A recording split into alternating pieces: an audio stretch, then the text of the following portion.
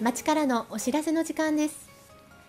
高森町の行政情報やイベント情報などを各担当課から分かりやすくご説明いたします。大切なお知らせがたくさんございますのでぜひご覧ください。今週のお知らせはこちらです。今週の町からのお知らせは生活環境課から今週11月14日から20日までのゴミ出し日について。税務課から今月の税納付について。住民福祉課からマイナンバーカード取得給付金について。令和4年度保育所等入所申し込みについて。子育て支援センターからのお知らせ。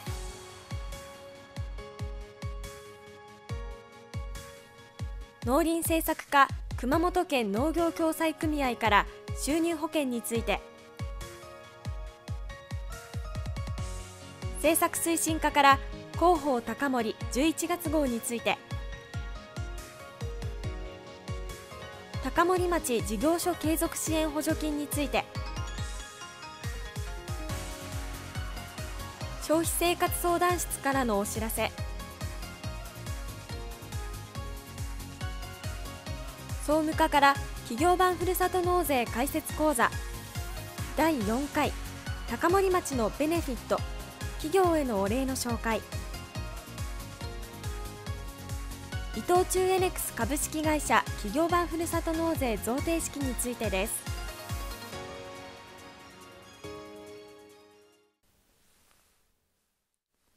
TPC をご覧の皆さん、こんにちは。生活環境課の村上です。今週のゴミ出し日についてお知らせします。まずは、高森、敷見、上敷見地区です。月曜日15日は可燃ゴミ。木曜日18日も可燃ゴミ。金曜日19日は瓶、缶です。次に、草壁、芹口、菅山、長野春、下切中八田地区です。月曜日15日は可燃ごみ。水曜日17日は不燃ごみ。木曜日18日は可燃ごみです。次に鶴、野尻、奥谷、河原地区です。火曜日16日は可燃ごみ。金曜日19日も可燃ごみです。また、可燃ごみは黄色の袋、瓶、缶、ペットボトル、布は透明の袋。不燃ゴミは青色の袋に分別をお願いします。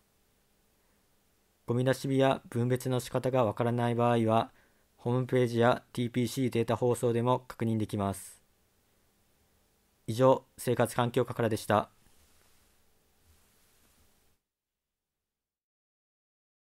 税務課より今月の納付書発送についてお知らせします。今月納付書を発送する税金は国民健康保険税の7期となっておりますなお口座振替は11月30日火曜日に行いますまた固定資産税は5月に年間分の納付書をまとめて送っているため今月の納付書発送はありませんが4期が11月30日の納期限となっております。納付書再発行なども可能ですのでお尋ねください。支払いが遅れますと督促状が発送されたり延滞金が発生する場合があります。必ず納期内にお支払いください。以上、税務課からのお知らせでした。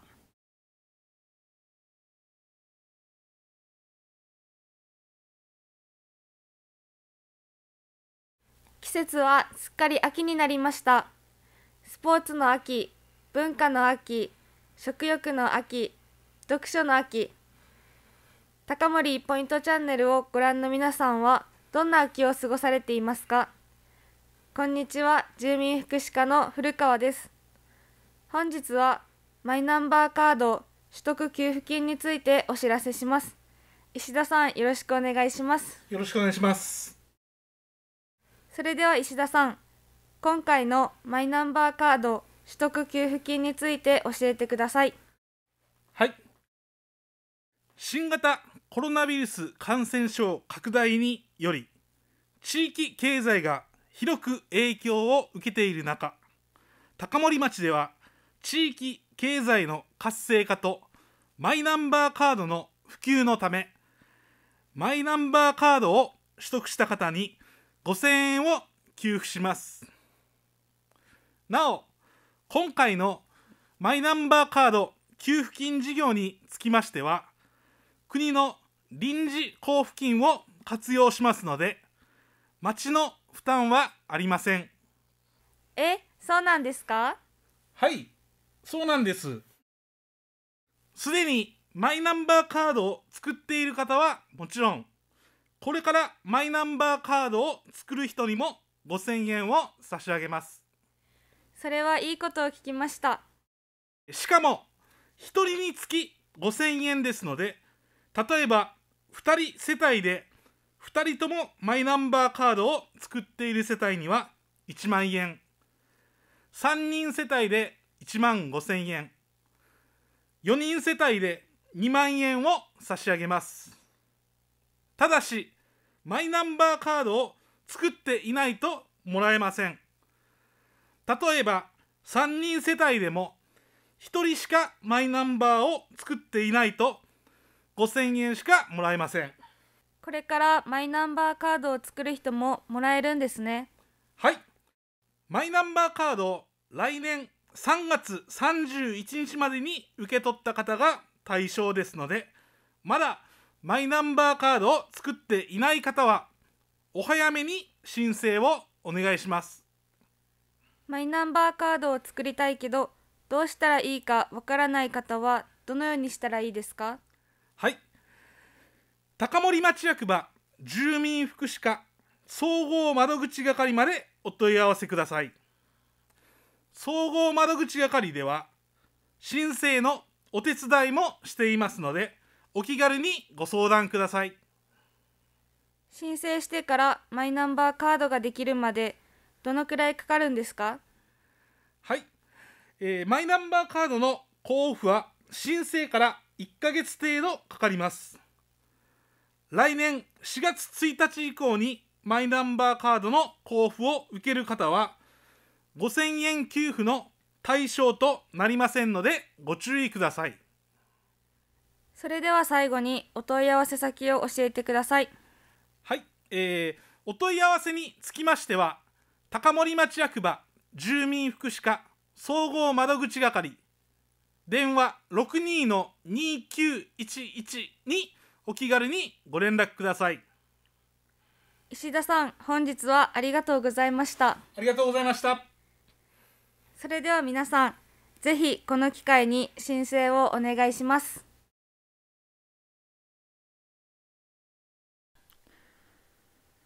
TPC をご覧の皆さん、こんにちは。住民福祉課福祉係の小玉です。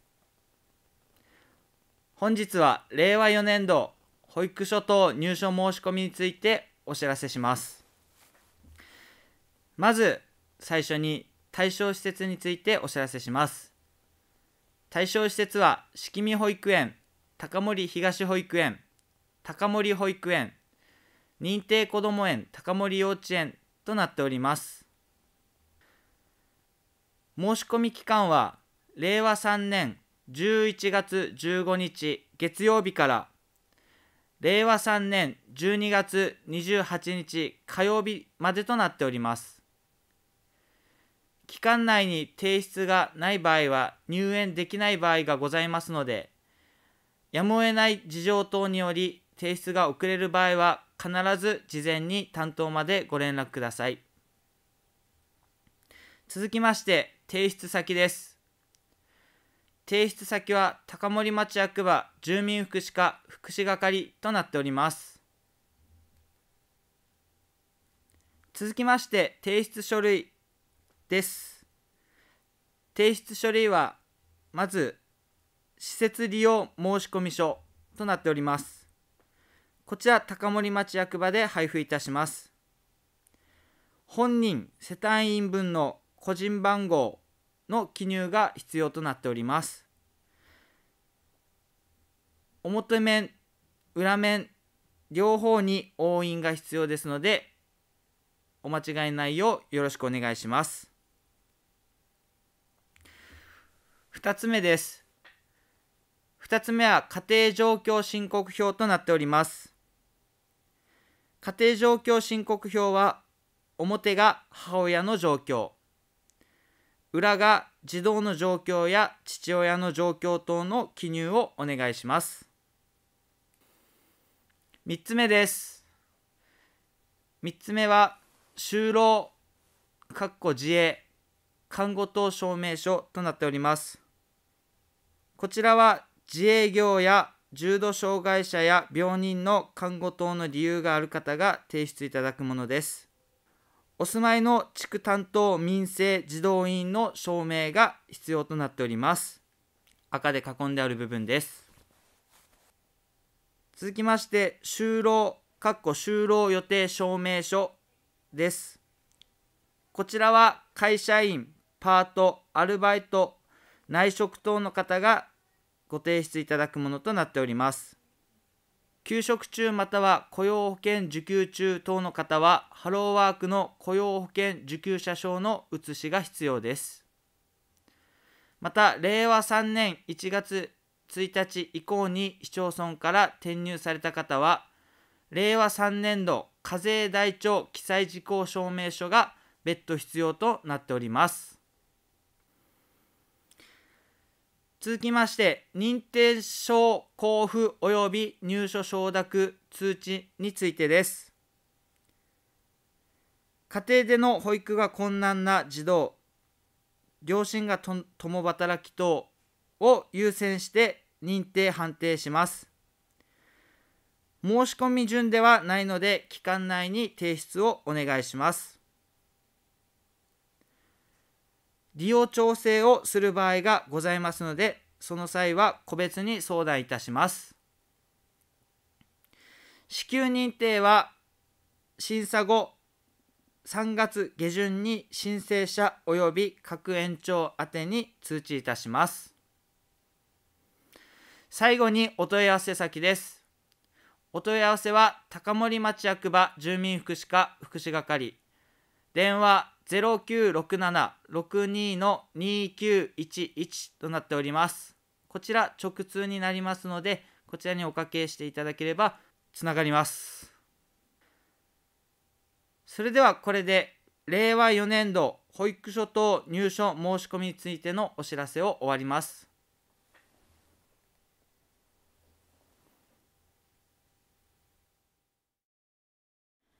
こんにちは。子育て支援センターからのお知らせです。11月15日月曜日10時30分からわらべ歌ベビーマッサージを開催します。バスタオルと赤ちゃんの水分補給ができるものをご準備ください。生後2週間から参加できます。また、参加される方は予防接種後24時間以上経過している必要があります。11月26日金曜日。10時からハーバリウムを作ろうを開催します。ハーバリウムとは洗濯のりを使用して造花やドライフラワーを瓶の中に詰めて作る癒しのインテリアです。移動子育て広場の案内です。11月18日木曜日10時から15時まで草壁総合センターで11月25日木曜日10時から15時まで法有館において移動子育て広場を開催します。講座に参加される方は子育て支援センターまでご連絡ください。電話番号62の3311です。それでは、たくさんのご参加お待ちしています。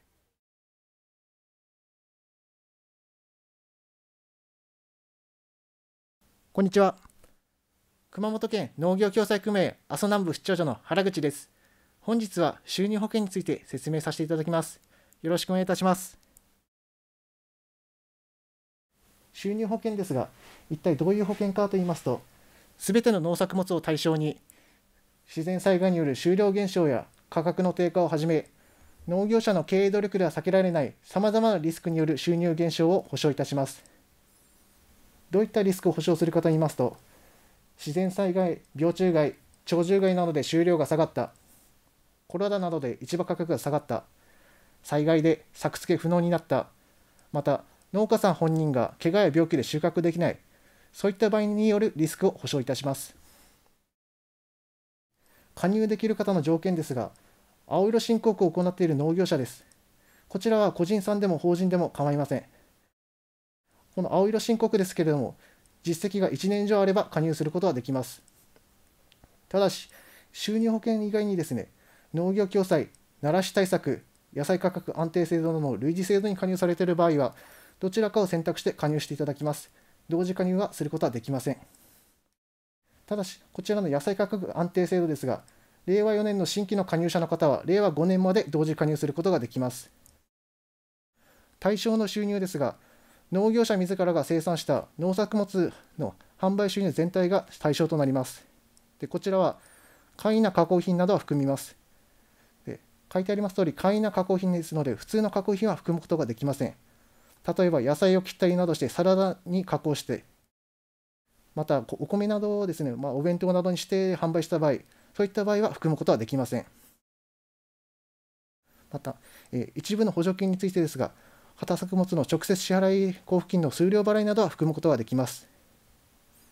また、肉用牛などの丸金等の対象になるものは省きます。補填の仕組みについてですが、保険機関の収入が基準収入の9割、括弧5年以上の青色申告の実績がある方の場合は、保証限度額の上限を下回った場合に、下回った額の9割を上限に補填します。基準収入はですね、農業者ごとの過去5年間の平均収入、合中合を基本としまして、規模拡大などの保険機関の営農計画なども考慮して設定いたします。で掛け捨て方式に掛け捨てとならない積み立て方式を組み合わせるかどうか選択できます。そして保証限度額ですが、基準収入の9割から5割の中で選択することができます。で保険方式の支払い率は9割、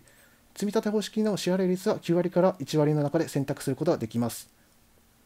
この場合ですけど、基準収入が1000万の場合でちょっと説明したいと思います。基準収入が1000万の場合ですと、保険方式の保険料は8.9万円、積立方式の積立金は22.5万円、付加保険料は2.2万円。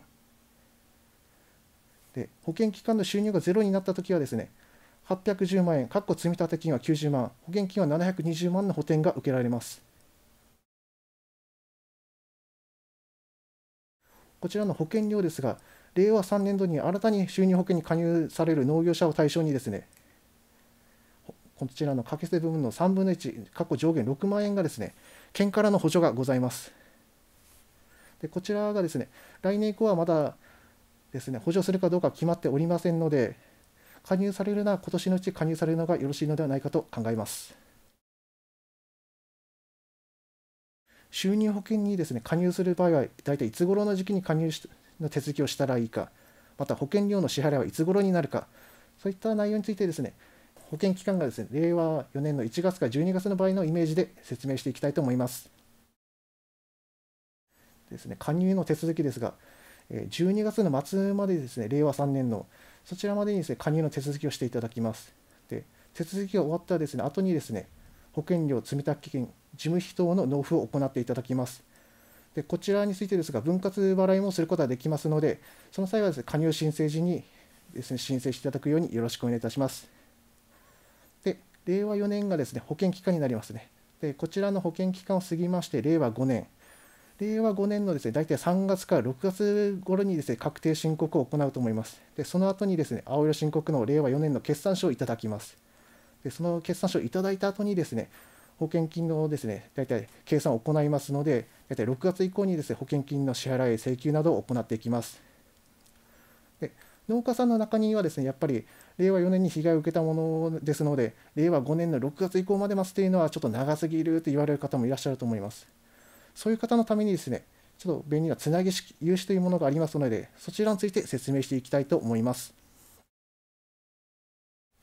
収入保険のですね保険金の支払いは保険期間の終了後になりますが保険期間中であってもですね自然災害や価格の低下等により保険金の受け取りが見込まれる場合は農災全国連からですね無利子のつなぎ融資というものを受けることができます。えどういったことかと言いますとですね保険金をですね保険期間中に、まあ、支払いが見込まれる場合はです、ね、一部前払いみたいな形でです、ね、受け取ることができるということですね。では実際いくらぐらい受け取ることができるかそれについてちょっと例をもとに説明していきたいと思います。例えば基準収入が1000万の方の場合で説明していきます。基準収入が1000万の方の場合はですね収入がですね500万円まで減少すると見込まれるときは280万円程度を限度としてつなぎ融資が受けることができます。これはどういった計算かと言いますと、えーとですね、保険方式はですね保証限度額が80%、積み立て方式が10%、支払い率が90%の場合の計算ですね。長期の場合はですね500万円まで減る減りますので、保険金の受け取り見込み金額は400万円ですね。でそれに支払い率の0.9をかけまして360万円。そのうちの8割がつなぎ融資の限度額となります。つなぎ融資はですね、その見込み金額の8割が受け取る限度額となりますので、こういう計算になってきます。でつなぎ融資の手続きはですね、基本的にまあお名前、まあ、サイン等を書いていただきまして、また印鑑等をしていただくぐらいでですね、特別ですね、提出していただく書類が必要ございません。で、大体ですね、その手続きから1ヶ月後ぐらいにですね、ですね受け保険金の受け取りができますので、まあ、その受け取り期間も短いですし、手続きもですね、あまり複雑ではございません。それで無利子でもございますので、こちらのですね、やっぱりつなぎ融資は結構年々ですね、使われる方が増えていっております。以上もしまして、え本日のちょっと収入保険の説明を終了させていただきたいと思います。本日はお忙しい中、貴重な時間とご機会いただきありがとうございました。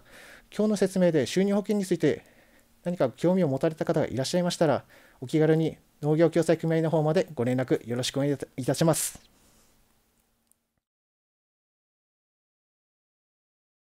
こんにちは。政策推進課の有働です。本日は広報高森11月号の内容についてお知らせいたします。11月号の表紙は10月9日に草壁地区で打ち上げられた花火を持ってきております。2ページでは町内の保育園幼稚園の運動会の様子を掲載いたしました、えー、たくさんの写真を載せておりますので、えー、ぜひご覧になられてください。3ページでは9月9日に行われました金婚ダイヤモンド婚表彰式の様子とそれぞれのご夫婦の写真を掲載しております。金婚夫婦は13組、えー、ダイヤモンド婚夫婦は6組の方が表彰を受けられました。えー、皆さんおめでとうございます。次に、えー、4ページでは、えエンタメ業界と連携した地域おこしプロジェクトを掲載しております。今回は、えー、風鎮太鼓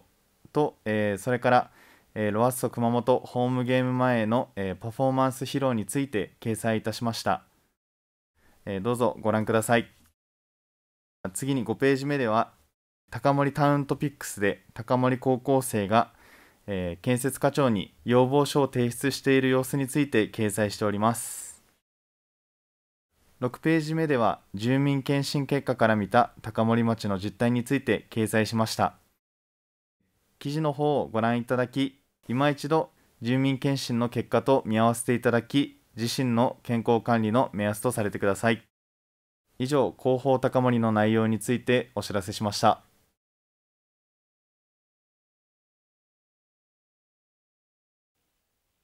こんにちは。高森町役場政策推進課の真原です。え今日は高森町事業所継続支援補助金について説明させていただきます。えこちらの方ですね、え昨年度に引き続きまた今年度の方も、え補助金として、え事業を展開させていただきます。こちら、え令和3年7月30日に熊本県より発令された熊本まん延防止宣言に伴う外出の自粛などにより多大な経済的影響を受けている事業所支援のために、えー、高森町事業所継続支援補助金を給付する事業となっておりますこちらの方は、えー前年度と金額の方が変わっておりまして、対象事業者の前々年または前年度売上に合わせて5万円から15万円の補助金を給付するものとなっています。はい、えー続きましてこちら、え補助金の対象事業者となっております。えこちらですね、え8月または9月の、え収入が前々年または前年の同月の収入より減少している事業所で、え高森町内に本店本所を構えてらっしゃる事業者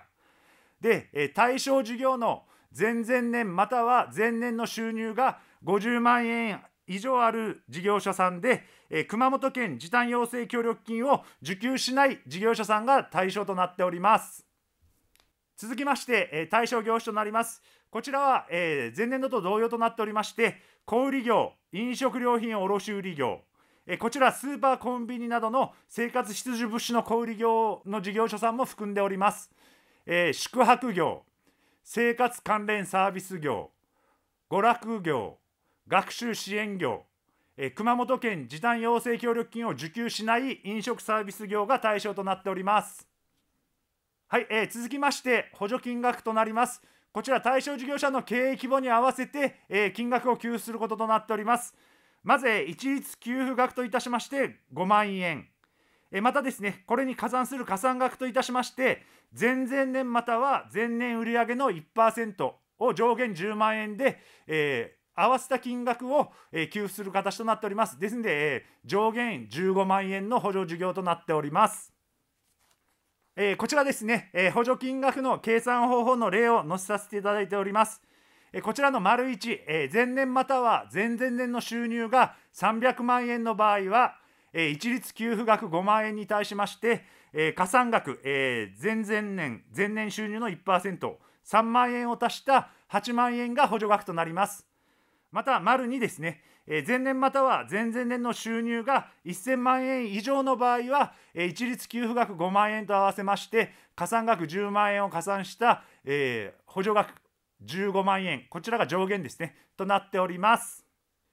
こちらですね、こちらの申請の方は、えー11月1日から12月27日までを申請期間とさせていただいております。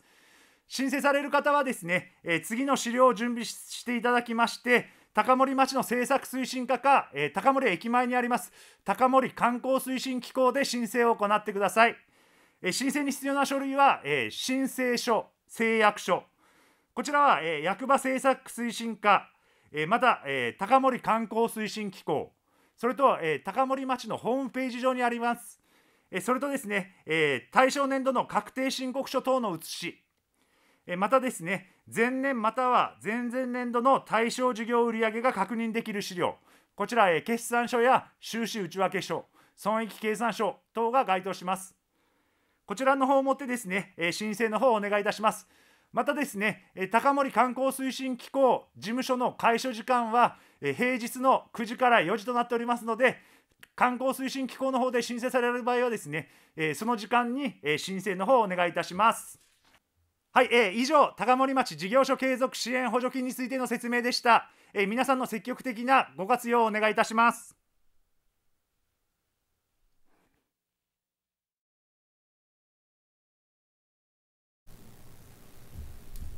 こんにちは消費生活相談室からのお知らせです高森町消費生活相談員の平田ですよろしくお願いします高森町役場では役場内の消費生活相談室で毎週月曜水曜金曜日の午前9時から午後4時まで相談を行っていますのでどうぞ気楽にご利用ください。南阿蘇村役場消費生活相談員の小林です南阿蘇村役場では役場内の消費生活相談室で毎週火曜木曜日の午前10時から午後3時まで相談を行っています。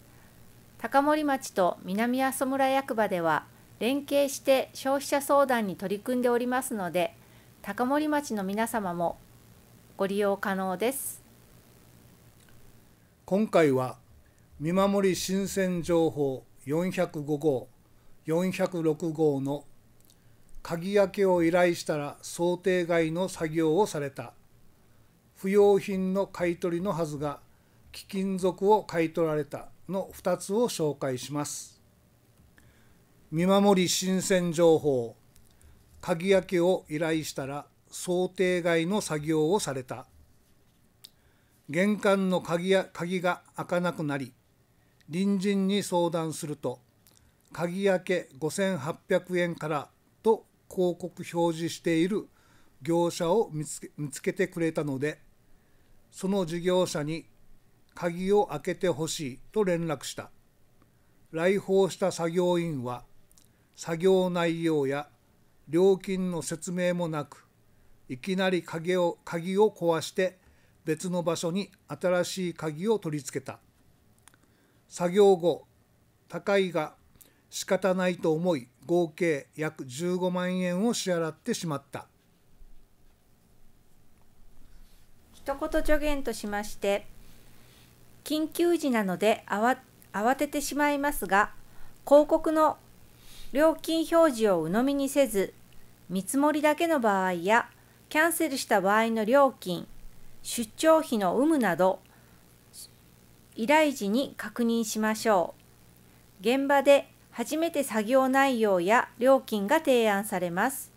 事業者が作業に取り掛かる前に作業内容と料金を確認し当初の想定とかけ離れた作業料金であれば無理にその場で判断せず作業を断りましょう。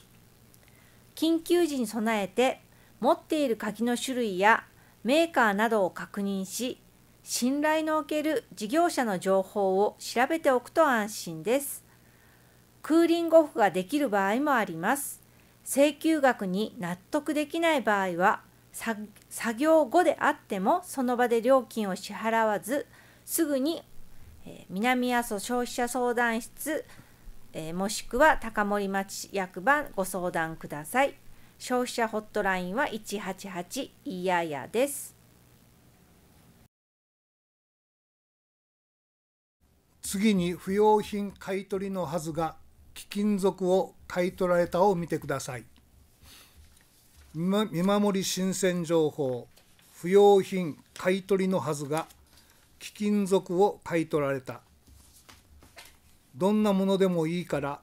女性用衣類を売ってほしい。と女性から電話があり来訪を承諾した。後日来訪があり着物類を見せたがアクセサリーや金貨はないかと男性にせかされ慌てておばの形見や防府からもらった指輪などの貴金属を出した。すると合計1200円の明細書とお金を渡され物品を持ち帰られた。貴金属を出してしまったことを後悔している。取り戻したい。一言助言としまして買取事業者が事前に買取を承諾していない物品を突然売るように要求したり消費者の自宅を突然訪問して勧誘したりすることは禁止されています。売るつもりのない貴金属などの売却を迫られても物品を見せずきっぱり断りましょう。必ず契約書を受け取りすぐに物品の種類買取価格買取業者の名称連絡先などを確認しましょう買取業者の訪問を受ける場合はできるだけ一人で対応せず信頼できる人に同席してもらいましょうクーリングオフできる場合があります。困った時はすぐに高森町役場もしくは南阿蘇消費者相談室にご相談ください。406号に関連したことですが次のような訪問購入心得がありますので見てください。貴金属訪問購入心得。1いきなり訪問してきた購入業者には応対しない。突然訪問して勧誘することは禁止されています。1事前に買い取りを承諾した物品以外売らない。消費者が勧誘を受け入れた物品以外の物品について勧誘をすることは禁止されています。承諾した物品を売却した際には物品の種類や特徴購入価格クーリングオフなどについて記載された書面の交付を求めてください。1売却後8日間は物品を引き渡さない。消費者はクーリングオフ期間中法律で定められた書面交付から8日間以内物品の引き渡しを拒むことができます。1むやみに貴金属を見せない触らせない。などの対応を参考にしてください。最後になりますが紹介した以外にも悪質業者による電話勧誘訪問販売携帯電話への SMS ショートメッセージサービスなどいろいろな手口で騙そうとしてきています。電話でお金の話が出た場合や身に覚えのないお金の請求をされた時などおかしいな怪しいな不安だなと思ったらどうぞご遠慮なく消費生活相談室へご相談ください。わからない時は188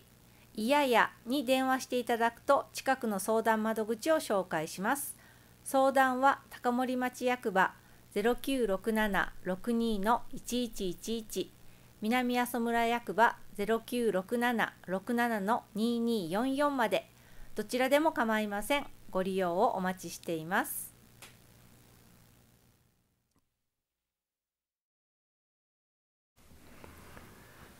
えー、TPC をご覧の皆様こんにちは。高森町役場総務課の村上です。皆様こんにちは。地域おこし協力隊の小林です、えー、今日はですね、えー、企業版ふるさと納税、えー、開設講座全6回中の第4回ということで、はい、えー、今日もですね、えー、地域おこし協力隊の小林くんより、えー、解説をいただきたいと思ってます。よろしくお願いいたします。よろしくお願いいたします。はい、今日はですね高森町のベネフィット、えー、高森町に企業版ふるさと納税をしていただいた、えー、企業の方々へのお礼どんなことをやってるのかということのご紹介ですね、はい、はい、よろしくお願いいたします。よろしくお願いいたします。それでは、えっと、説明をしてまいりたいと思います、まあ、まず基本としまして企業版ふるさと納税は経済的な便益お肉だったりとかお魚だったりとかそういったものが返礼は不可能あ制度上禁止されておりますのでそれ以外の、まあ、自治体が企業様の理念を PR したいだったりとかどういった活動を行われているのかそういったことを広報するというものを主に行っております。なるほど、えーはい、寄付企業に対して、えー、行政側が、えー、経済的、はい、えー、便益の提供をですねそちらが禁止されていると、はいえー、じゃあ一体どのようなお礼があるのでしょうか？そうですね高森町では、まあ、今現在7つほどベネフィットあ企業様のお礼を用意しているんですけれども、まあ、まずは TPC で TPC での広報活動ですね。まあ、こちらは寄付企業様の活動や理念、寄付された理由や、寄付企業様から高森町町民の方へのメッセージなどを届ける活動を主に行おうと考えております。はい。はい、自治体さんが、まあ、自治体が企業企業さんの名前や理念を広報してくれるというのは、まあ、自治体と企業様の今後の関係づくりについてもプラスに働き、寄付企業様や自治体にとって良いことと私は考えております、はい。えーまあ、高森町の場合ですね、えー、全世帯でこの高森ポイントチャンネルが見れますので、えー、寄付いただくと、えー、全世帯に向けて、えー、その寄付企業のですねコマーシャルができるといったことがございますね。はいはい、それでは、えっと、続きまして、ま、高森町で、えっと、今現在進めておりますタブレット図書館のモニターとしての協力なども考えております。こちらは高森町のタブレット図書館を、ま、専用 ID を発行しまして、えっと、寄付企業様のデバイスなどから体験していただくということを考えております。高森町の取り組みを直に体験できるベネフィットだと考えておりまして、また自宅から図書館にアクセスできるという取り組みは便利で先進的な先進的なものと考えております。はいこちらも、えー、子どもたちですね高森の小中学生に全員に配布しているタブレット、うん。はい、こちらに、えー、電子版のですね、えーまあ、本ど本ですとか、えー、熊日の記事ですとか、まあ、そういったのを配信する今事業が教育委員会の方で進めてますので、まあ、そういったお手伝いもしていただくというような、えー、お礼のですね取り組みになってますね。はい、はい、続きまして関連しているんですけれどもタブレット図書館の PR 事業に貢献というものを考えておりますタブレット図書館に寄付企業様提供のコンテンツを配信することまた寄付企業様の商品などを活用した PR の実施を行おうと考えております。先ほどのモニターとしての協力も合わせますとどのように PR されているのかまた自社自社が提供したコンテンツがどのように見られるのかより深く体験できることと思います。はい、こちらもですねあの教育委員会の方が今仕組み作りしてますので、うんはい、こちらもですねうまく連動できればいいなというふうに、えー、思っております、はい、はい、続きまして高森 ICT 教育プログラムの視察ということを考えております。そうですね。こちら高森町の先進的な教育現場を直に視察することができまた ICT 機器がどのように使用されているかまた子どもたちの機器の習熟度などもつぶさに見ることができるかと思います。なるほどですね、えー、はい、そうですね、えー、5月には天皇皇后両陛下もですね、うん、えー、オンラインで、えー、高森町のこの ICT 教育をですね視察されましたので、うんはい、えー、企業の皆さんもですねすごく興味があられるところじゃないかなと思ってます。うんそうですね。高森町のあのお子様たちは本当全国的に見ても ICT 機器の機器や技術に対する習熟度はとても高いと思いますし本当にどのような教育をされているのかとても注目度があるのでとても良い、まあ、寄付企業様にとってとても参考になるかと思います、はい。えっと、続きまして南阿蘇鉄道トロトロッコ列車の乗車体験並びに被災,、えっと、被災記念レールと枕木オーナー制度による熊本地震の伝承というものも考えております。こちらは、まあ、トロッコ列車の乗車体験及び復興研修また被災したレールのオブジェの贈呈やえーと、枕木オーナーへの登録などを考え行います。なるほど。こちらもですね、えー、実際南阿蘇鉄道に高森町に来ていただいて、えー、南阿蘇鉄道が熊本地震から、えー、こんな感じで復興してるんだよとかそういった状況とかですね、はい、現状をですねぜひ、えー、見ていただいて、うん、えー、またですね応援してくれる気持ちをですね、えー、いただければいいなと思っております。はい、はい、続きまして最後に町長との会見メディア付きというものを考えております。高森町長との会見やメディアの公開、町からのプレスリリースの発信及び地元新聞の掲載や、えっと、贈呈式の執り行い、並びにインタビューを行います。町長との会見や対談、贈呈式、インタビューなどは TPC でも放送しようと考えております。はい。まあ、そうですね。あの企業の方にもお越しいただいて、はい、えー、高森のですね町長がこんな考えでこのプロジェクトを進めているとかですね、実際直接聞くことはなかなかですね、うん、ありませんので、えー、すごくいい機会なのかなと思っております、うん、でまたその様子をですね、えー、我が社に持って帰って、うん、社内の広報とかで伝えるといったところでまた高森町がですね、えー、PR していただくことになりますので、えー、こちらの方もですね、えー、希望する企業の方にはぜひですね、えー、会見付きで町長と意見交換をですねしていただきたいと思います。うんそうですね、寄付企業の皆様にとっては本当に貴重な体験でありまた PR としてもとても有効なものかと考えております。それでは今回は少し早いんですけれども高森町のベネフィットの紹介を行ってまいりました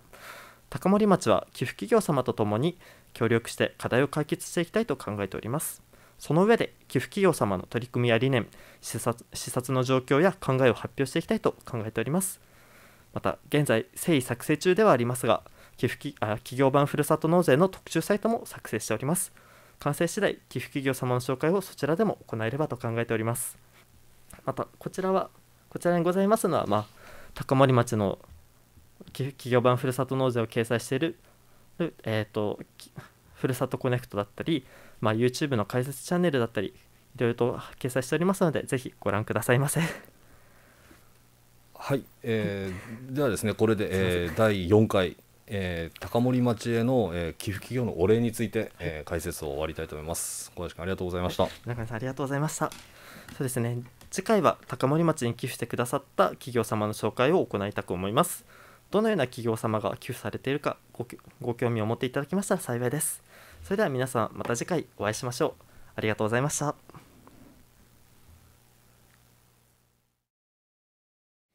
企業版ふるさと納税の解説講座で担当の総務課からもご説明しましたが伊藤忠エネクス株式会社から今回高森町にふるさと納税という形でご寄付いただきました。寄付目録贈呈式の様子をご覧ください。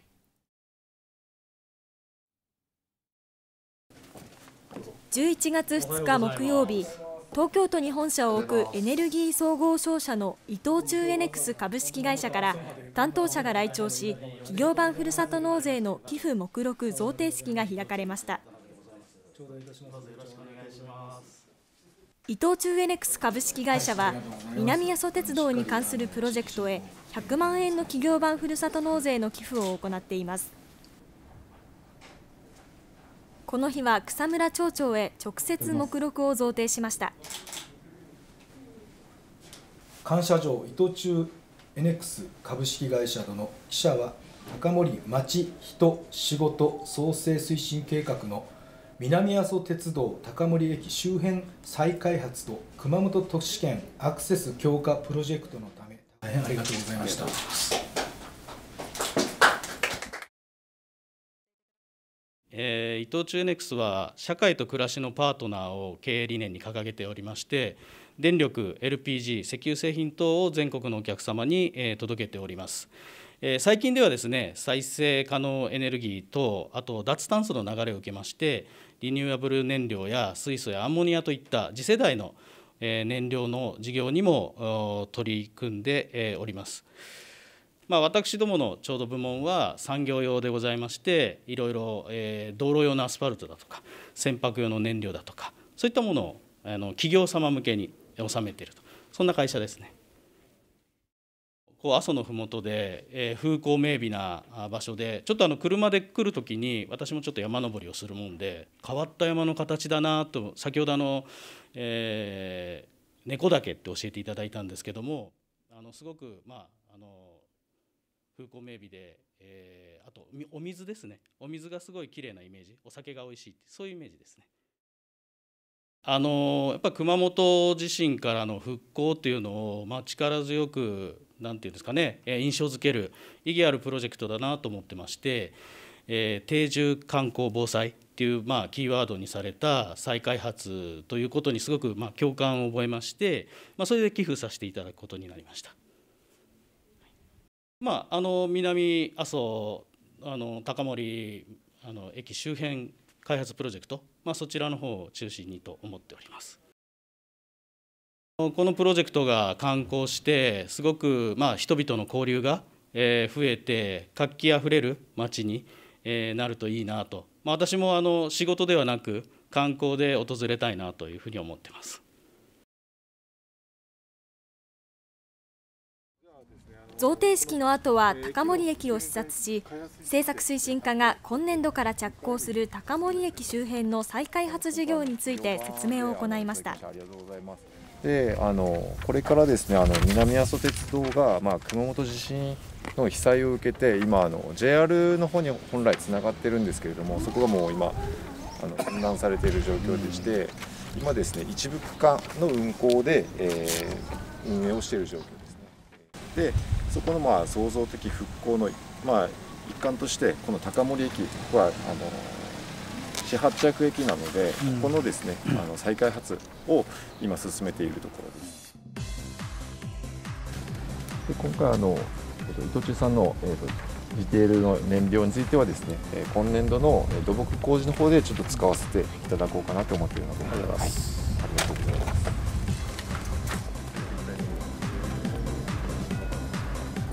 Yeah. 寄付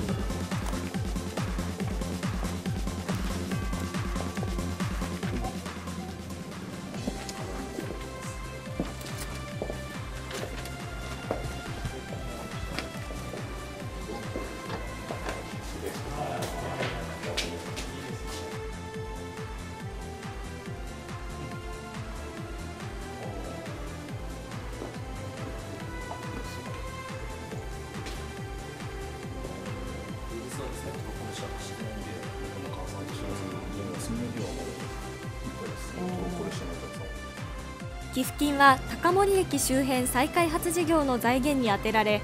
伊藤忠エネクス株式会社の高森町への期待とともに南阿蘇鉄道の熊本地震からの創造的復興に活用されます。映画の映画の舞台になってますよね。こういった最大の漫画が原作で映画になってます。ファンタとか ありましたね。ファンタも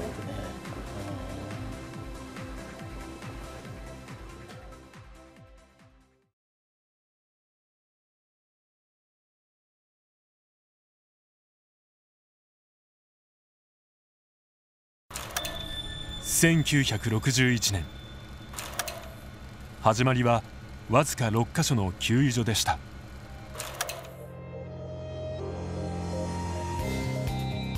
私たち伊藤忠エネクスはそれから半世紀を超えて社会と暮らしの変化に対応しナンバーワンのエネルギー商社に成長してきました。人々に不可欠なエネルギーの供給を起点とし多様なサービス事業展開でお客様や地域に寄り添い地域の生活を支えるエネルギー商社として日本中世界中に活動の場を広げています。作り結び届けつなぎ支える。私たちは伊藤忠エネクスです。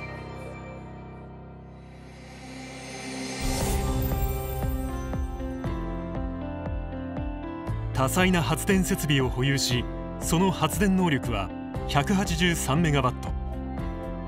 全国2000以上の事業所でその電力を販売し総販売電力量はおよそ460万メガワット。約150万世帯の電力需要を賄っています。発電から需給販売までを垂直統合し一体化することで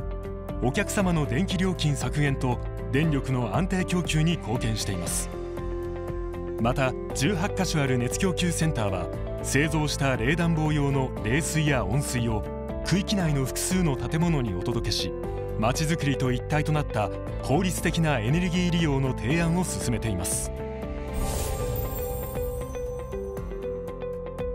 石油製品化学製品を貯蔵するターミナルを保有しその総貯蔵量は15万トン。国内外の供給基地として展開しています。石油製品のトレードでは需給バランスと価格の変動を敏感に捉え輸出入と国内販売を展開。石油製品の安定供給に努めています。軽油や灯油産業用燃料の重油 LP ガスなどを安定的にお届けしています。アスファルト販売事業では全国12カ所の基地と3隻のタンカーを保有し販売シェアは20%盤石な安定供給体制を整備しインフラ維持に貢献します。また自社のタンカーを活用し船舶燃料のトレーディング販売事業を主要港で展開。ディーゼル車の排出ガスを分解して無害化する AdBlue の販売などにも取り組んでいます。日本のモビリティライフを支えるカーライフステーション。その拠点数はエネルギー商社として国内ナンバーワンの全国約1700カ所。さらに自動車販売からメンテナンスまでを行うディーラー事業も展開しています。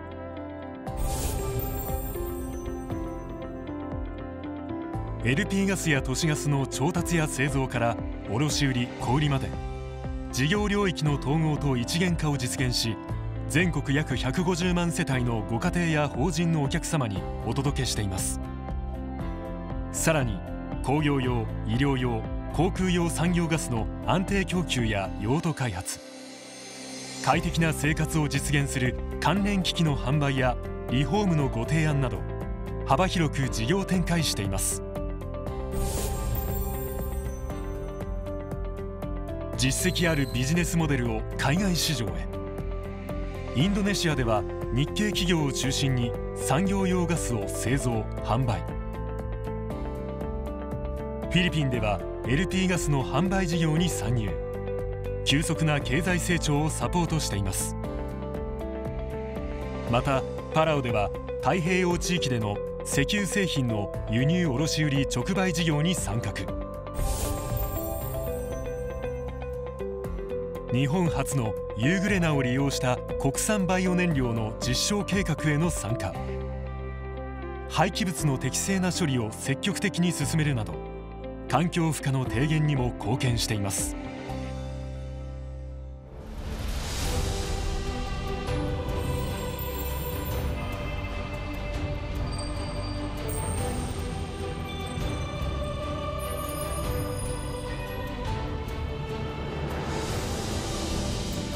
エネルギーとともに